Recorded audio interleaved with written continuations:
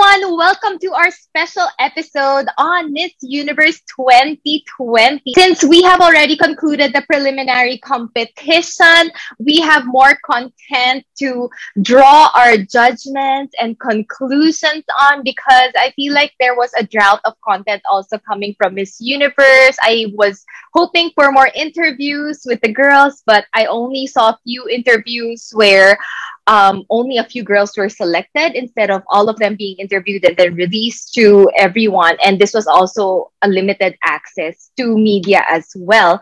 So now that we have more information and we've seen more of the girls, Tita Lavinia and I, my partner in crime. Hi, Tita. Hello, guys. Good afternoon. Thank you, Nicole, for having me back. This is becoming a tradition. So, Tita Lavinia and I came up with not exactly our hot picks because, like I said in our last video, last Miss Universe season, we don't really go for hot picks because, one, I'm not good at it.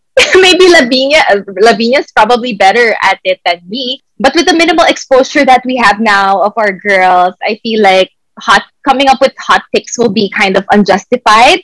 So what we did is we came up with our list of the 10 girls who were the most impactful with their performance during the preliminary competition. And then we kind of will do a backtrack also of their performance throughout the duration before the preliminaries. So, Lavinia, are you ready with your list? Can you show your Yes. notebook?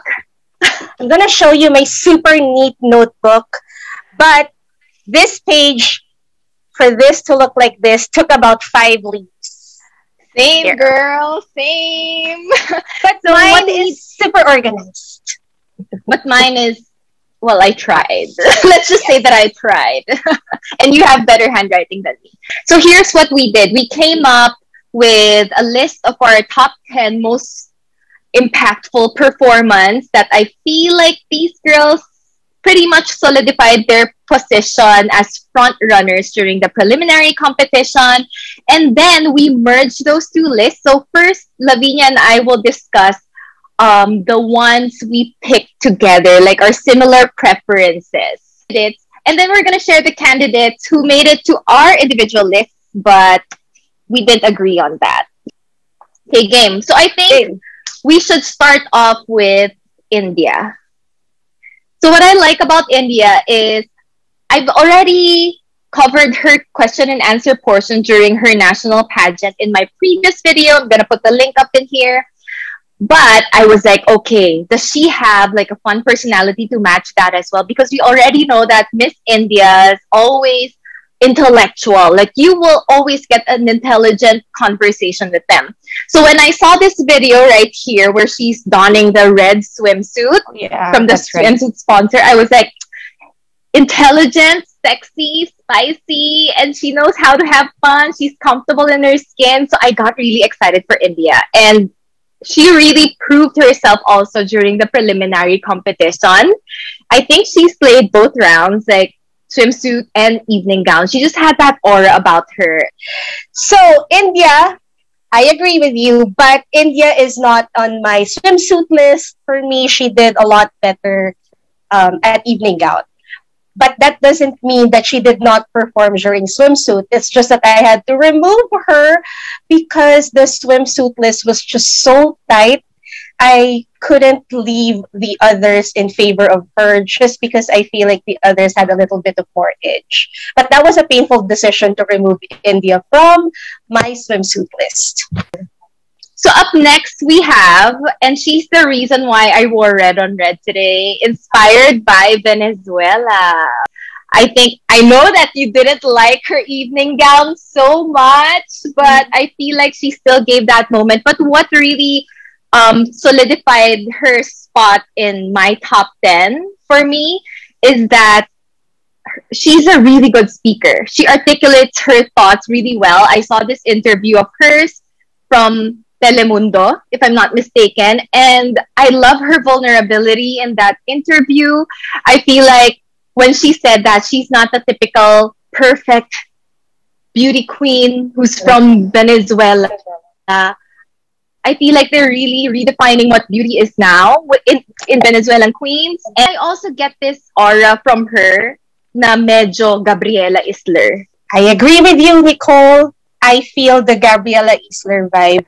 But if you're endeared to her because of how she speaks, I like her because of her baker thing going on. I mean, every time I learn about an individual or a beauty queen who bakes, it gets me excited. It gives me all that warm and fuzzy feeling. But more than that, I think because she is Venezuela, and we have a saying here in pageantry that Venezuela is Venezuela, she was undeniably really good in swimwear.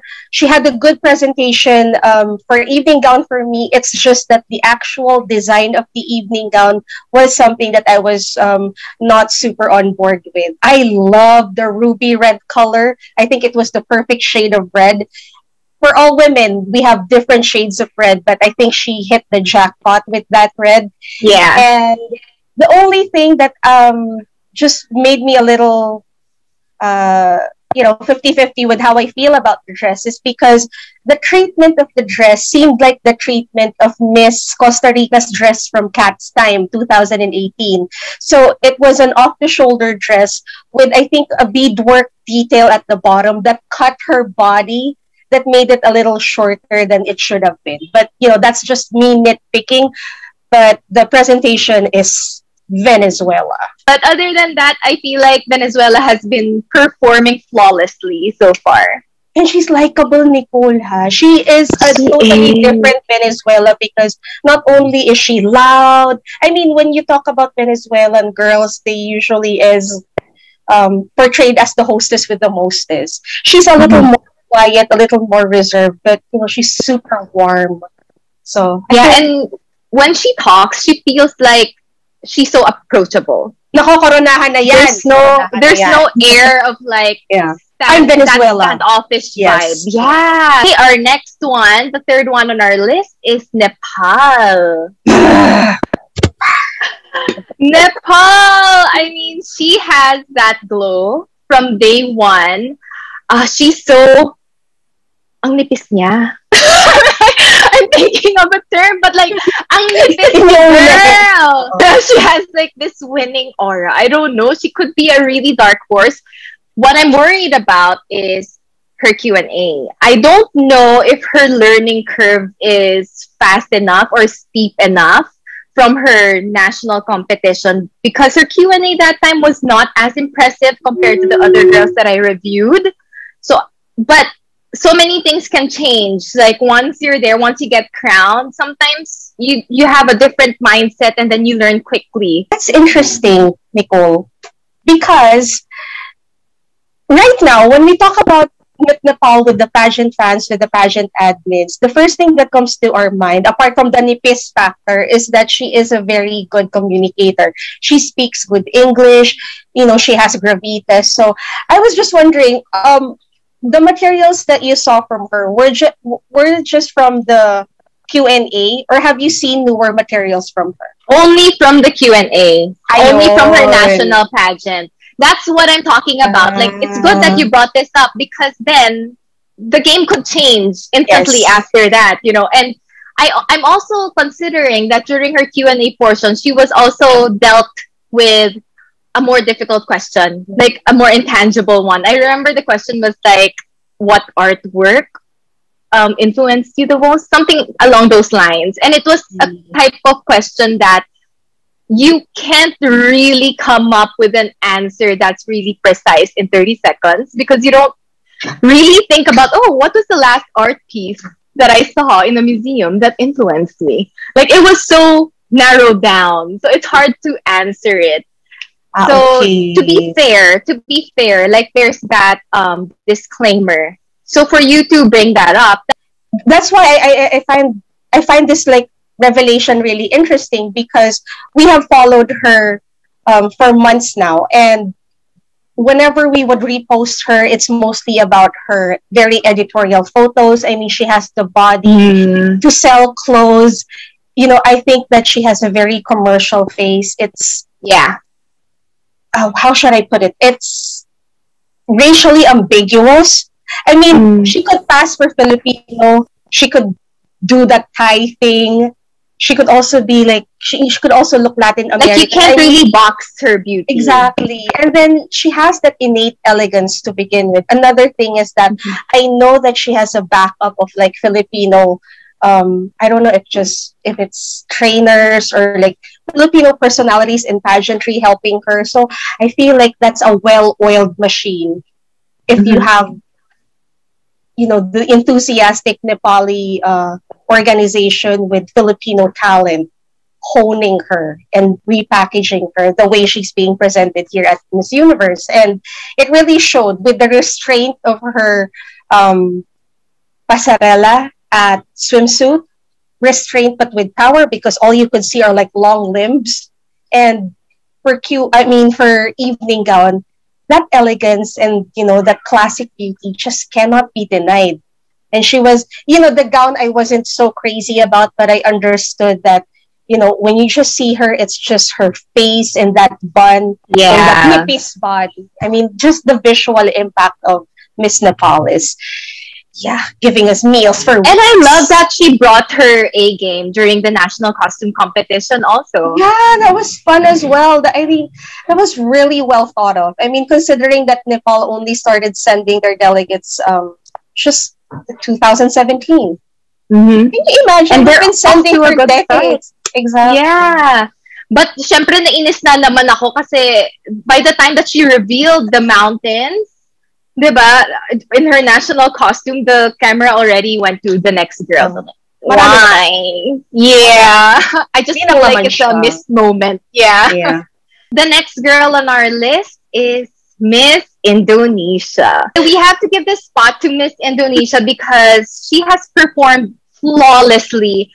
She is very eloquent. I watched her interview with Telemundo. He uh-huh. wasn't just giving facts like, "Oh, this is my this is the cause that I work with, that I, you know, try to pay it forward to, but she also had the personality there because I feel like um previously there were more memorized lines from their previous candidates Yes. but yes. this time she's very conversational and also she shared that uh, she was doubted by a lot of her fans also for not being able to speak english so well but now she even used words like naive like she uses these english terms correctly without having to without using it in a show offy way. You know, like she really knows how to use words. Like I would assume that she performed well in the closed door interviews. Because she really knows how to express herself. Like guys, you have to watch her interview. I was really impressed. And she didn't I feel like this time they didn't try to fit her into any mold. Like she was just herself. I'm just really excited to talk about Indonesia. I feel like because of the shared history together, it's almost taboo for me to talk about an Indonesian representative. But I want to talk about her because this is the same thing that happens every year. We go into um, you know, th- these crazy fan wars, and then it becomes personal, and then it goes to a point where we don't really promote each other's candidates, but at the competition, you start learning that these girls are like the sweetest girls. So you start, you know, changing your perspective, and then you start seeing them for the way they perform. And this is exactly the same way I feel about Indonesia. The first time I saw her, I thought she was super manufactured. I thought that everything um, that they were making her do were just, you know, not a representation of who she is. Because, you know, she's always made up for the full year. She's had several photo shoots. So we never really took a break with Ayu Maulida. We knew her from the time she was crowned up until she, you know, transformed before our eyes. And as much as I don't want to admit it, the girl is really performing. And I'm not saying showing us, you know, those really uh, well practiced maneuvers or Yeah. verbal gymnastics, but I really noticed the personality. This person is light and bubbly and effervescent, and she doesn't really have to try. She is not Mhm. nasty. I mean, she's not overly accommodating. She is a little quirky, which I like. And you know what? She's very game. So I, you know, appreciate a candidate who's game, who's not super, um, you know, focused, who's not super serious. Apparently, because yeah. that's how I that's how I viewed her. And you know, it also helped when you get um, feedback from people who are there, also from the feedback of our candidate who's fighting there. Um, it helps when they say that Indonesia is actually a really nice girl. And when you see it, because she is a model, she does have the technical skills, Nicole. So all that needed to be done is to hone those skills for modeling and maybe change it up for pageantry. And I think she was able to do that. And yes, um, we always have a thing of comparing her and making her appear as if she gets things from what Kat has done before. But I think that was really smart to put the armband instead of like some other jewelry that's associated with Kat because it made her who she is. And I like that they changed the styling. She didn't have that um, wavy hair. They put it straight this time. So I feel like yeah. she looked Indonesian. More relaxed. And, and Indonesia, relaxed, yeah. yeah, right? So uh, whatever whatever direction the Indonesian team is going for, I think they're doing a good job because for me to change my mind and leave some of the Latinas or some of the strong Asians in that list, yeah, for me to swallow this all and include you in my list, you must have been doing really good with something. There. Yeah, no, I would like to say that Ayu is definitely really different from the previous candidates that they've been sending. She has that certain something. Yeah. You know, that I think only comes from within. Like it's just purely Ayu. You You know, it's like it's not something given to her by her trainers, by her mentors. It, it it's not studied. It's just her. Like she just let go and be herself. Why didn't we see this, you know, before? Why is it unfolding? Now? Maybe because you tend to be more controlled. I don't know. Like your moves for the girls, I feel like they're more controlled before flying. Especially out. in the Indonesian organization, I think. Next on our list is Amanda of Obdam, Thailand, Ooh. who really gave us that gold sparkly moment. She is both in my swimsuit and evening gown list. Uh, it's just that, you know, we've seen everything from Amanda. So when I saw her in swimsuit, I thought she had a really nicely toned body. I mean, babaihan, that's what we call her body. It's not super ripped, but at the same time, you know, she's toned, she has muscles, and I think uh, she did pull back a little bit, which is good. There wasn't anything over the I love the restraint. Yeah. Me too. I mean, it made her look more technical. It made her look more focused. Um, just very different from, you know, how people are talking about her now. Yeah. I don't know. I don't know if I can if I can even expound on that. It's just that for today it was okay, no talk, just let me perform.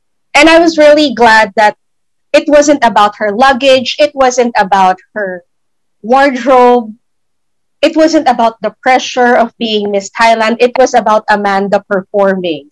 And what I saw during the prelims for swimsuit, the movements that she uh, showed us for swimsuit was very reminiscent of how she was during Miss Universe Thailand. I thought she was really right in Miss Universe Thailand. That's why she won.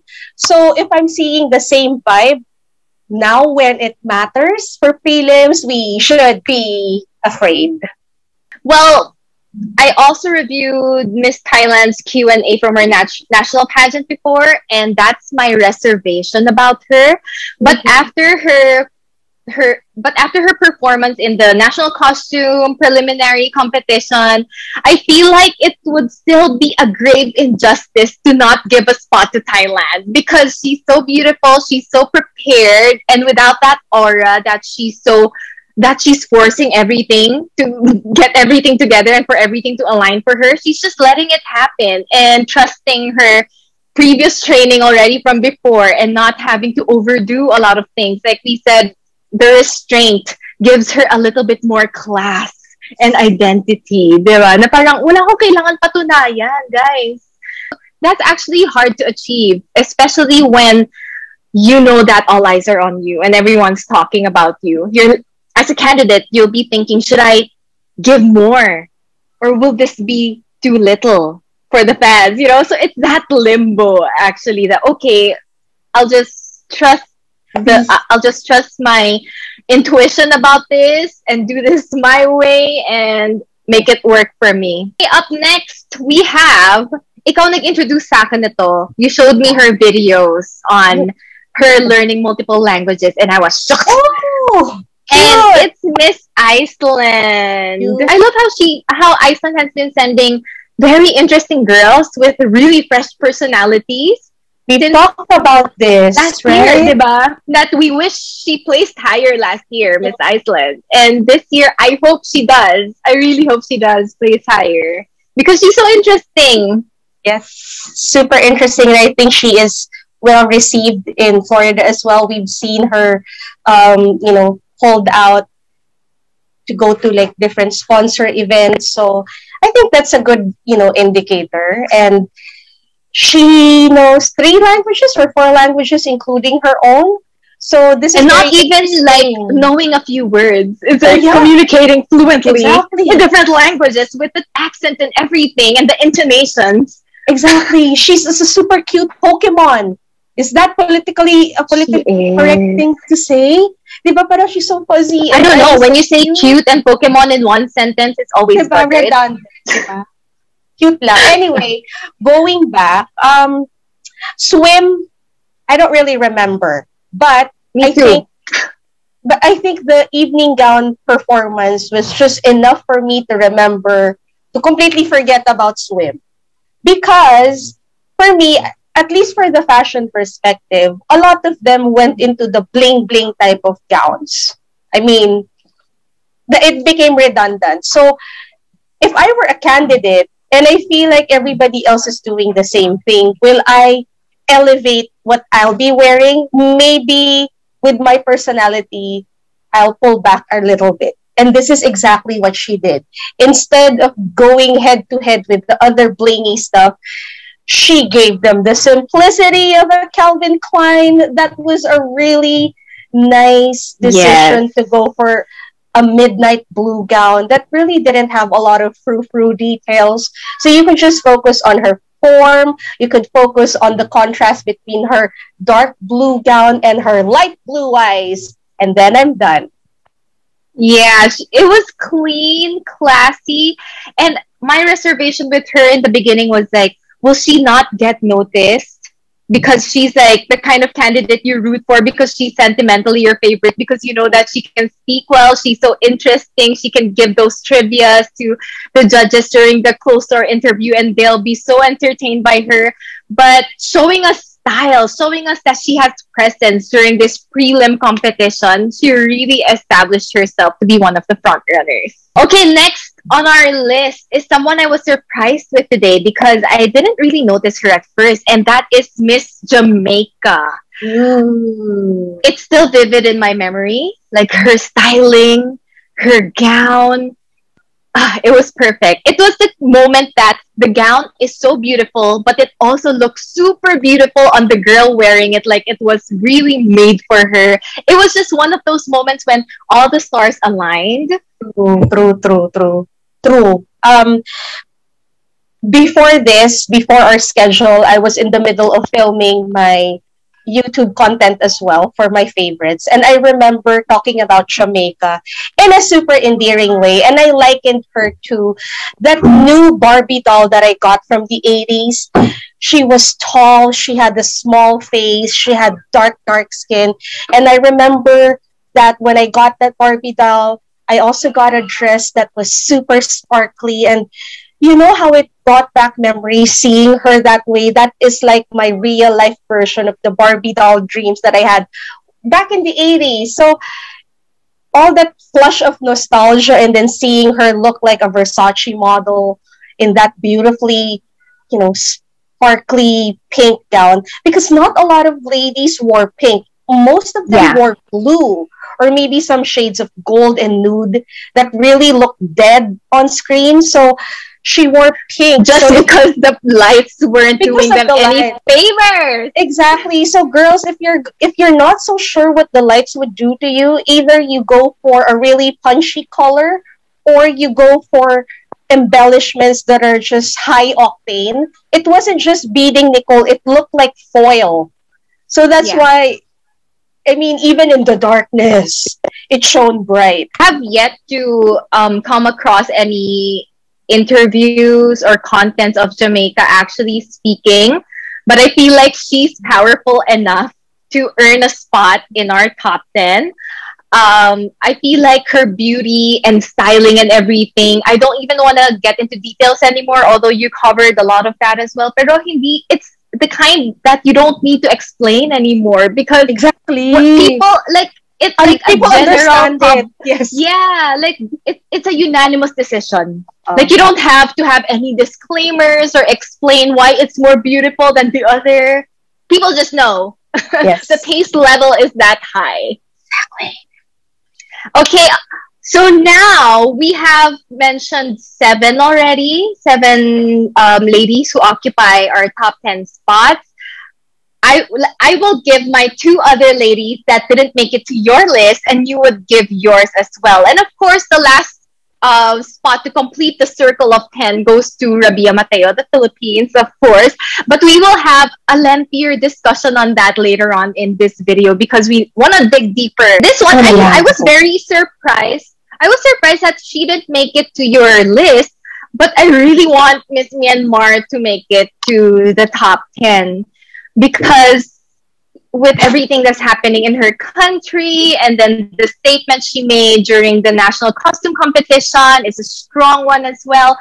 And I was like, okay, usually naman Myanmar, they always excel sa Nat Cos competition. So that wasn't really a surprise. But will she make it to the top 10? And can I just say, iba yung ganda niya ngayon. Like, Myanmar was serving us space. She had that glow. Of all the days na Myanmar can achieve her perfect look sa preliminary competition pa talaga. And I feel like the stars really aligned for her like tonight. So, she has a shot. I really want her to be part of that syempre, more Asians, more fun. Um, I agree with you. Although I didn't have her in my overall list, I did include her in my swimsuit list because even before um, we started learning about Myanmar and um, what was happening in their country, the first uh, footages that we knew of her was of her walking by the poolside uh, in a two case. So we knew early on that she had that body, that it was well proportioned, and even her walk was on the classy side. Knowing that she had the baboon body, we really waited for that because we knew that was where she was really going to perform. It's just a bonus that her face turned out to be the same in her photographs because this is something that a lot of Actually, it was better than the ones in exactly. the photographs because I stalked her after the Nat Cos because mm-hmm. she caught my attention there but in the preliminary competition, her her look was really perfect. Like she didn't even achieve it in her previous photo shoots. That's why I was really surprised by her look tonight. I just really hope, Nicole, that they take notice because, um, of course, these countries are uh, not the sash factor countries. So mm-hmm. I hope that they take notice and take a chance yeah. On these other girls because that face, that body, that story, that drive, and that determination to get herself out there, represent yeah. Myanmar in a foreign land. At this time of the pandemic, I mean, everything must have some reason, you know, yes. why she should be given that spot. I don't know. Yes fingers crossed for Myanmar. Okay, so the next girl um, that takes the ninth spot on my list is Peru. Because she's just been perfect. During the competition, she slayed. Even if her evening gown was not the one I would I feel like she could have worn something better that complemented her better. But the way she posed to show her S line to the camera at exactly that position, that was like next level performance because not a lot of girls knew how to play with the camera and connected that. So her establishing that now, Pak, o S9, o tabi. Me too. You know, I really wouldn't remove Peru from the list. It's just that I am a little surprised that she isn't attacking this competition as a heavy favorite to the point of uh, people talking about her as someone who's just there to claim her crown. I haven't heard talks like that. I mean, I honestly thought that it would be that scenario where we would have a Demi-Leigh moment or a Catriona mm. moment, but was just surprised at how stiff the competition is that she is unable to really ace, you know, the segments and even the pre-pageant activities. Now, she did have a really good showing at national costume, but yeah, of course, we all know this is a non-scoring event, so mm-hmm. technically it really doesn't matter. So for her to do something with uh, her swimsuit presentation, not so much really. I, I think what happened with Evening Gown is that if it were something to do with scoring, for me, she would lose points in the actual gown mm-hmm. and the styling. Yeah. So maybe mm-hmm. those two points alone could really hurt her in the competition. But I but don't not know enough this though. Is not enough. Yeah, to exactly. pick her out. Enough. You know. Yes. So I don't know if there is really enough time because prior to all of this, she seems like the full package. So I don't know. For me, she is a question mark only because I didn't really see that she would have a difficult time in establishing herself. So that's just yeah. it. But other than that, the face is immaculate. The eyes are crazy beautiful. So yeah, I hope um, they give this to Peru. I mean, Peru has been doing really well for the past how many years, and the last Miss Universe from Peru was way back in the 1960s. So I understand the thirst and the hunger, and always playing second fiddle to Philippines. So I understand, you know, the giggle factor of Peru. I just don't know if Janik has the giggle factor right now to fight for it. Yeah. Mm, yeah, I totally get what you mean though. Yung tipong akala mo manlalampaso siya. Mm-mm. Yung ganong performance. medyo, Although, baka manlampaso pero it kind of took time. Alam mo yun? Yeah, get. So, Ay, ang hirap timplahin, no? But then at the same time, I think we would all agree that her performances has they still are flawless and clean.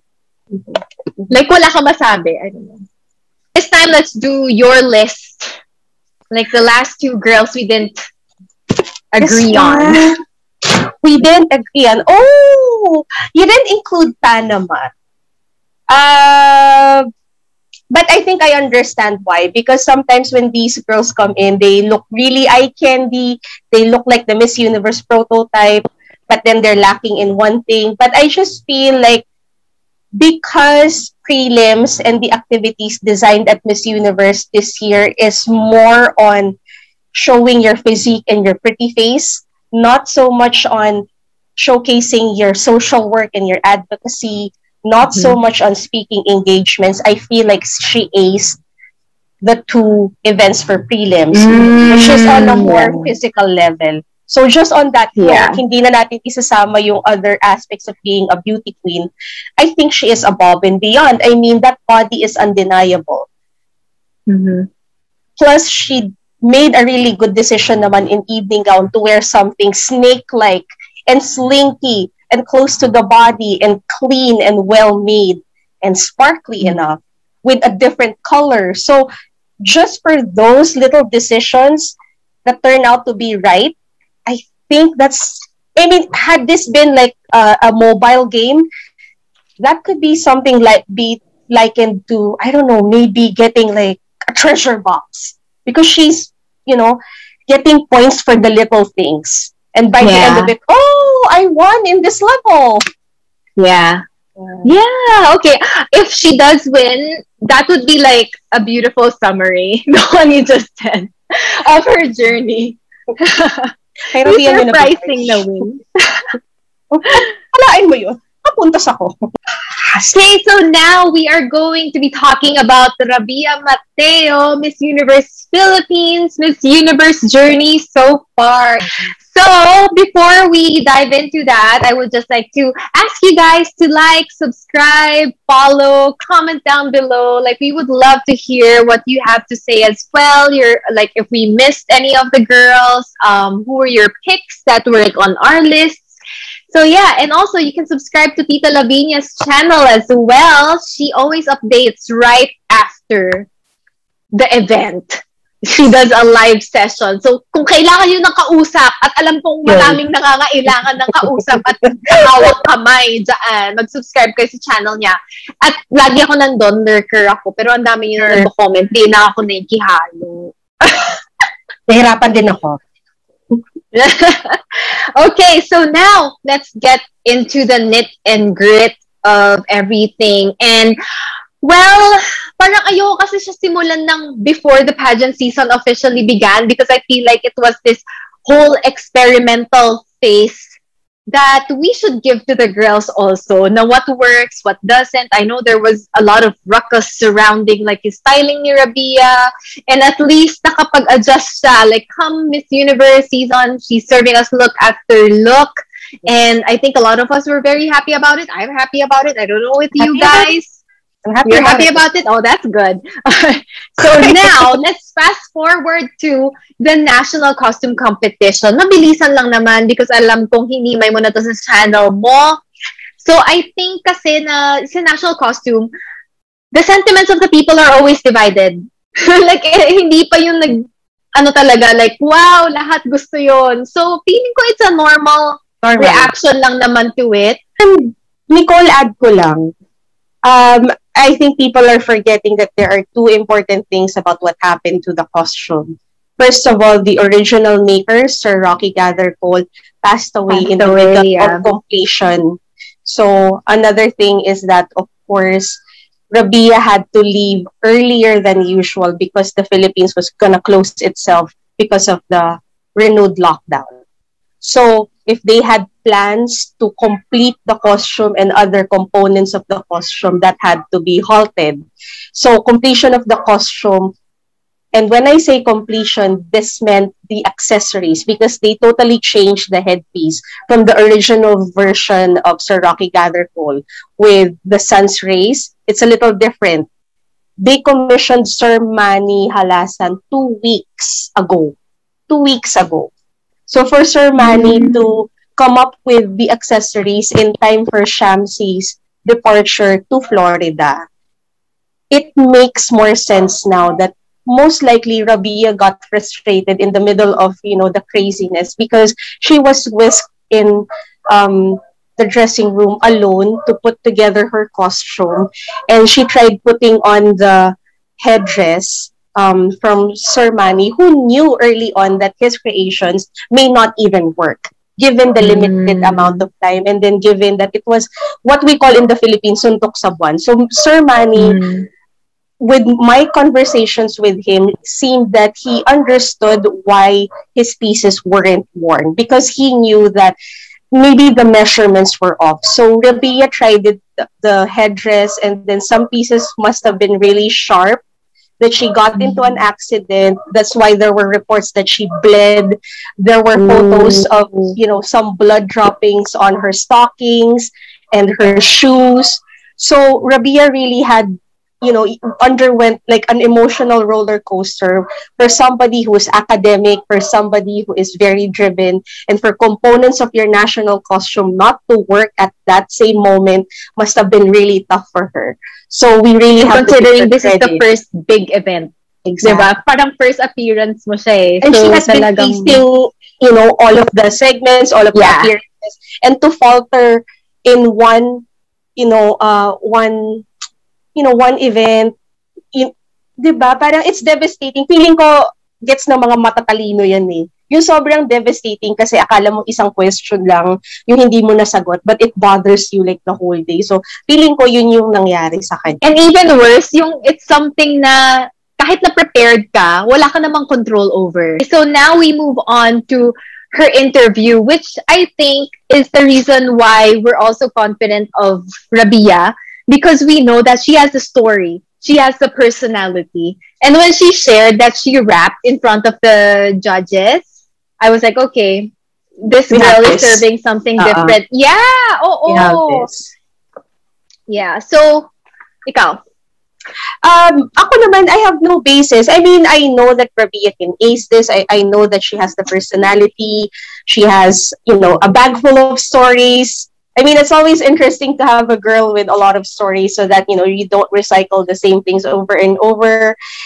But a lot of the admins out there, the hardworking admins in pageantry, they have a thing now where they screenshot everything. So they screenshot every frame of, let's say, a TikTok video that lasts for 15 seconds. And when you look at the, the photos in progression, you get to see, wow, this exactly is personality stamped on a Yeah. photo. So you get to see like as maybe a couple of seconds of exposure and then you have the hand gestures you have the stance you have the way she laughs at um, the judges so you know her performance. is, you know actual interaction going on that she's not just standing there answering a couple of questions she is conversing she is engaging with the judges so for me that's a good sign.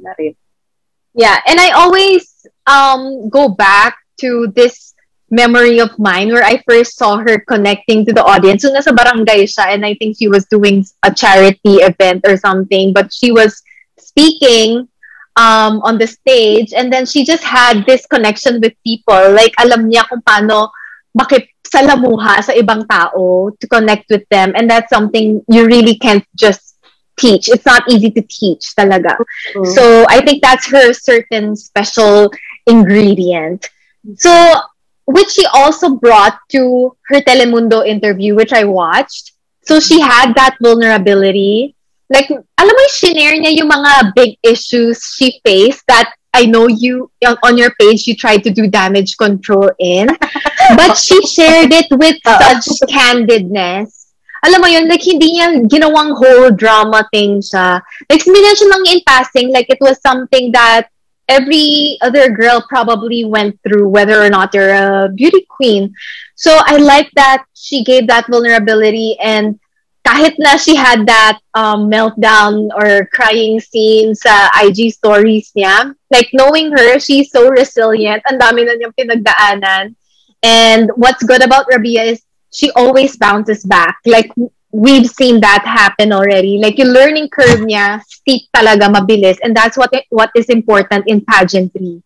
So I think this year overall we sent the perfect candidate who's warm and humble and relatable. I think that's Ooh. enough. That's more than enough. Now, finally, prelims. In summary, I feel like she rocked the swimsuit round. May Yeah. duyan yung ano niya, balakang niya, sis. Uy, do, gusto ko yan. Gagamitin May dinuduyan siya. gamitin ko nga yan sa caption ko. May duyan sa ano, sa balaka. Ang g- It's Tama. true. gusto mag-shake about the hair. I go. Because we have mixed, no, it's not even mixed. I think a lot of us were not super happy with the hair. We wanted a sleeker look sana for the hair just to balance the Mm. um the formality of the actual dress because the dress Yeah. seemed more of an evening gown for formal events than an evening gown for a pageant. Right? I mean, am I on the right track here? So, the hair pala, um, she couldn't really do anything about it because we're getting a lot of DMs na parang, Tita, why isn't she styling herself? That's supposed to be the way. Didn't you, um, like, train for that? Something like that. But I got a little bit of chi-chi from someone that uh, it was actually the sponsors who took the reins and fixed her up. So if that's the case, um, she if she was handpicked to, you know, showcase what the MUBA team um is working with right now, wala tayong magagawa talaga doon. So it was all love from the MUBA team. Now, um, it may be comforting to know that when I asked Rabia about how she felt about um, her total look today, she said that, you know, she is aware of the talks of other people, but that she felt super beautiful this evening and she was really confident this evening though. So parang totally different dun sa mental break. Hindi lang kasi kasiyahan din niya eh. Alam mo yun? Oo, yun lang. eh. Masaya siya. daw niya. Ang ganda daw. Nagandahan daw siya sa sarili niya kagabi. Sabi ko, yun naman pala eh. Huwag na tayo mag-usap-usap. Kasi, kung ano yung nararamdaman ng babae, yun yun eh. Yun na yun. Happy daw siya. Ganda, ganda. Yung, the, the, the word was, ang ganda ko kagabi. so, dito tayo. Doon ka sa nagandaan ka sa sarili mo ba? Diba? Ganda naman. Oo, no. Go. Push. Diba? Laban mo yan mo. you know what? Um, again, share ko na rin. Kasi, di ba, if, different yung perspective natin dito eh. Our eyes have been sharpened. We created a whole community and pageantry. I have a career in deciphering looks, in decoding, you know, fashion choices. So, feeling ko, dahil sobrang hasang-hasa ang Pilipinas, we magnify everything. Like, we know that this gown needed a slit to open it up. Ah, We know that, like, little things that other pageant fans may not even understand what we're whining about. Because apparently, when I asked Rabia this evening, some of the Latin fans who approached her mentioned that, you know, what are you guys talking about? It was beautiful. It was nice. So, di ba, dun ka mapapaisip na, ano ba, sobrang invested ba tayo? Ano ba nangyari sa atin? Kasi sa kanila, okay naman yung rehistro doon. Nagmamahala naman sila doon. Alam ko naman din, may kulang din sa sexy factor. Di naman ako bulag doon. But, it was beautiful and I don't think that that glorious, you know, presentation won't be enough for the judges to take notice. And yeah, I think one of the judges now clapped ha, when, you know, when they saw her. And this judge is known to be someone who is super sexy, who wore a chain mail. Zuleyka? So, kung doon na lang ako, doon na lang ako. di ba? Okay, so that wraps it up for our very comprehensive review. Thank you so much for watching our special episode. And Lai, Lavinia, thank you so much for joining me, my partner in crime. This is our usual annual hangout na talaga. Did we redeem ourselves? Trust. not quite. we will we will be judged. we'll see when we release this. But I um so guys, if you want to get into more details, all those pageant enthusiasts and aficionados out there, subscribe to Tita Lavinia's channel here on YouTube to get all the updates. Uh, lalo na if you want to talk fashion. Yeah, she's the girl for that. And- um trigger warning she gives really honest opinions nobody can hold her back so kahit na friends kami and hindi kami lagi same na opinion tanggap namin isa't isa True na. Wala should be di ba Yes. walang personal also um don't forget to like and subscribe to my channel for more pageant content because we have more pageants coming up this year and I'll talk to you guys again next week after the finals night of Miss Universe 2020 where we will digest the Q&A portions of the ladies, my favorite part.